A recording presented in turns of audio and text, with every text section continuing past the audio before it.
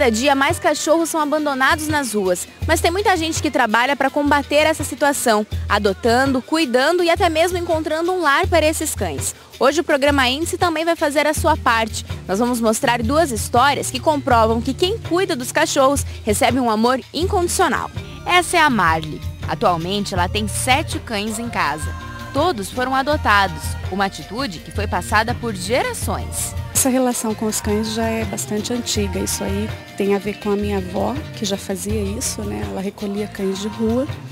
Então a gente sempre teve em casa cães. A minha mãe também sempre fez isso. Então eu acho que eu peguei um pouco dessa coisa da, de adotar delas, né, desse exemplo que elas davam pra gente lá em casa. Então em casa sempre nós tivemos cães recolhidos de rua. Já a Karen fez a primeira adoção através da CIPA e segundo ela foi amor à primeira vista. Eu fui convidado para um evento que a CIPA estava promovendo, que foi um churrasco, e tinha vários cãezinhos para adoção.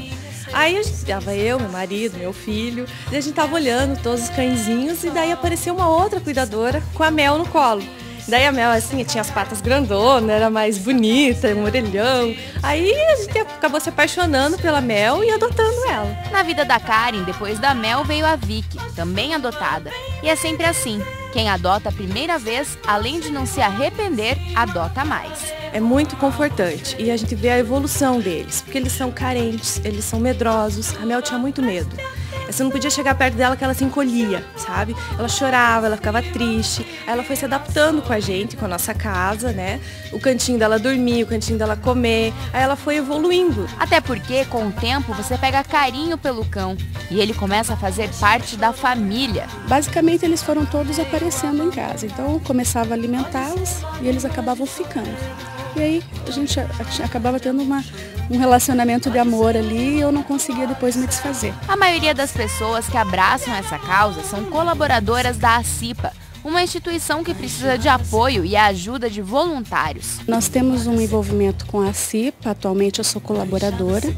É, então, assim, é, nós nos ajudamos né, quando há necessidade de um lar provisório. Eles entram em contato, a maioria dos colaboradores e associados da CIPA, né, principalmente os que estão mais envolvidos lá ali no dia a dia da CIPA, já tem as suas, as suas casas já com uma lotação bastante grande de cães, porque normalmente essas pessoas, principalmente se eles são cães que sofreram algum tipo de agressão, foram atropelados, eles têm que primeiro né, ter um tratamento antes de conseguir uma adoção. Então a gente se liga, um telefona para o outro, verifica se pode, se há disponibilidade de tempo. Muitas vezes você tem que ter o tempo para fazer a medicação nos horários certos. Então existe essa, vamos dizer, essa parceria entre os, os protetores e os colaboradores. Aqui em Cascavel, quem ajuda nesses casos é a ACIPA, que é uma associação privada que depende da ajuda e da colaboração de voluntários.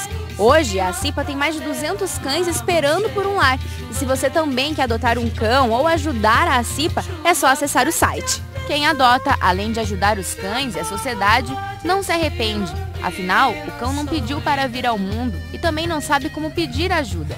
Cabe a nós ajudá-los para receber em troca um amor sem igual. A gente não pode discriminar, eu acredito, porque eles não pediram para ver o mundo, né? Eles precisam de um lar. E às vezes as pessoas adotam, mesmo os de, os de raça, adotam e abandonam. Então a gente tem, essa, tem, que ter essa consciência que no momento em que você adota um animal, ao menos por, por cerca de 10 anos, essa, esse, esse ser né, vai fazer parte da sua vida, vai precisar de cuidados, vai precisar de alimentação, cuidados veterinários e principalmente carinho, né, amor. Então é, é algo que para mim é bastante gratificante. E o recado que fica dessa reportagem é que adota, porque é muito bom. É muito gostoso você olhar o bichinho, sabe? Gostando de estar na tua casa, te sentindo abrigado, sentindo conforto, você podendo alimentá-los. Eles estão sofrendo na rua, né? Eles estão jogadinhos lá.